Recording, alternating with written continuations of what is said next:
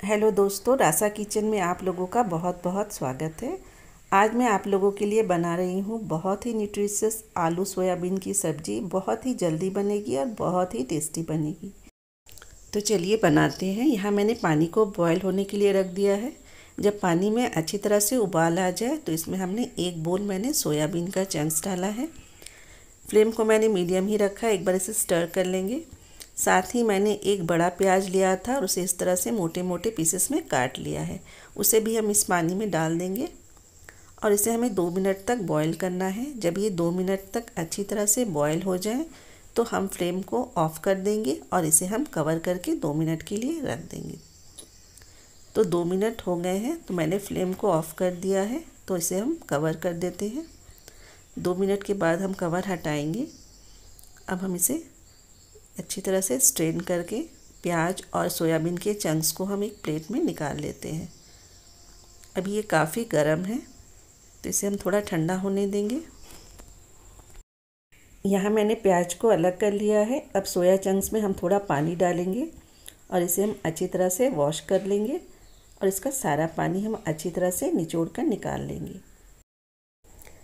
यहाँ एक grinding jar में मैंने प्याज जो हमने बॉईल किया था उसे डाल देंगे।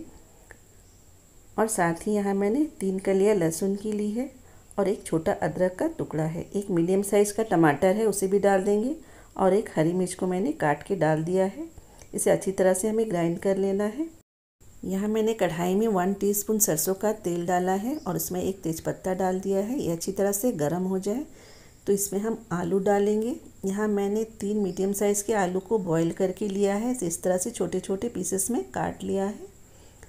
तब हम इसमें आलू डाल देंगे और इसे हमें लगभग दो मिनट तक फ्राई करना है जब तक कि आलू में एक थोड़ा सा ब्राउन कलर ना आ जाए। फ्लेम मीडियम ही रखेंगे और इसे हम अच्छी तरह से सॉटे कर लेंगे।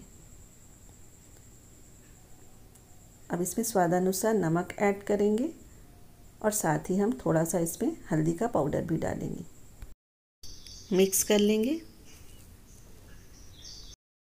अब हमने जो सोया चंक्स को बॉईल करके रखा था, उसे भी हम इसमें डाल देंगे और इसे भी हम आलू के साथ थोड़ा फ्राई कर लेंगे।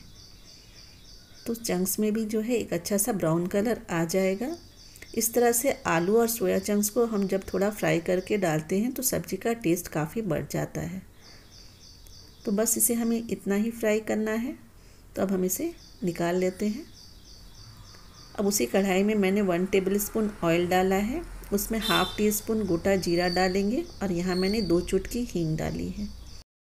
जब जीरा अच्छी तरह से क्रैकल हो जाए तो इसमें हम पिसा हुआ मसाला डालेंगे और मीडियम फ्लेम में इसे हमें कुक करना है। तो फ्लेम को मैंने मीडियम कर दिया है और इसे अच्छी तरह से हमें मिक्स करते हुए लगभग दो मिनट तक कुक करना है। अब इसमें स्वादानुसार नमक डाल देंगे। नमक हमने अपने आलू में भी डाला था तो सावधानी से डालें। हाफ़ टी स्पून हल्दी पाउडर डाल देंगे।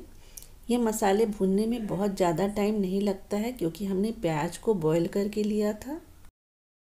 तो ये सब्ज़ी बहुत ही कम तेल में और बहुत ही जल्दी बनकर तैयार हो जाती है।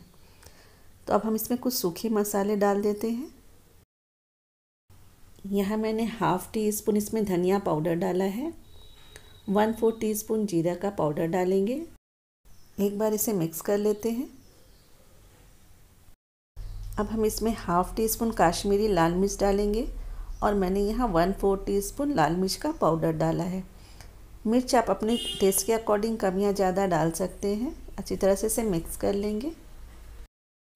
फ्लेम लो टू मीडियम ही रखें ताकि मसाले जले नहीं।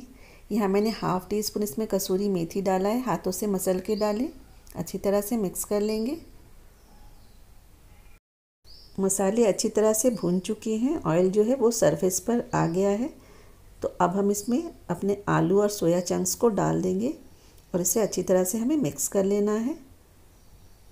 और आलू और सोया चंक्स डालकर हम इसे एक मिनट के लिए और भून लेंगे ताकि मसाले जो हैं अच्छी तरह से इसमें कोट हो जाए। फ्लेम यहाँ लो टू मीडियम ही रखा है। अब इसमें थोड़ा धनिया पत्ता डाल के इसे अच्छी तरह से मिक्स कर लें। तो मसाले जो है आलू के साथ अच्छी तरह मिक्स हो गए हैं। तो अब हम इसमें पानी डालेंगे। यहाँ मैंने हाफ़ ग्लास पानी डाला है। आपको जितनी ग्रेवी चाहिए, आप उतना पानी इसमें डाल सकते हैं। और यहाँ मैंने फ्लेम को हाई कर दिया है ताकि इसमें एक अच्छा सा बॉयल आ जाए। दो हरी मिर्च स्लिट करके डाल दें। तो पानी में बॉयल आ गया है। तो फ्लेम मैंने लो कर दिया है और उसे कवर करके हम दो मिनट तक और कुक करेंगे।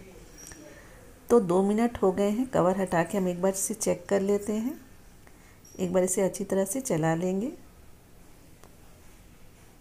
तो आपको जितनी ग्रेवी चाहिए, आप उतनी ग्रेवी रख सकते हैं। यहाँ मैंने तेज़ पत्ता को अब निकाल दिया है, क्योंकि इसका फ्लेवर जो है वो ग्रेवी में आ चुका है। अब हम इसे अच्छी तरह से एक बार मिक्स कर लेते हैं।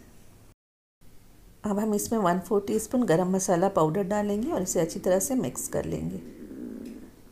तो बस हमारी सब्ज़ी बनकर बिल्कुल तैयार है। तो हम इस स्टेज पर फ्लेम को ऑफ़ कर देंगे और इसे हम कवर करके दो मिनट के लिए रख देंगे।